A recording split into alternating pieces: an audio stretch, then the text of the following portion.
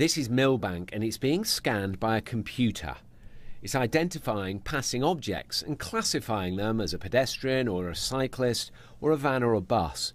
And using artificial intelligence, the system is constantly learning.